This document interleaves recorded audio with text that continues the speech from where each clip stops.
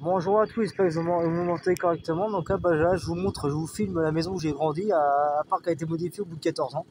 Voilà, moi c'est une nouvelle propriété, bon, c'est normal. Et c'est la maison où j'ai grandi à Châtillon-le-Roi. Voilà. Avant tout ça, ça y était pas. Avant c'était à chemin libre et tout ça. ça a vraiment changé, là je suis en train de découvrir euh, 14 ans après. Donc euh, je reviens euh, au point de repère, on va dire.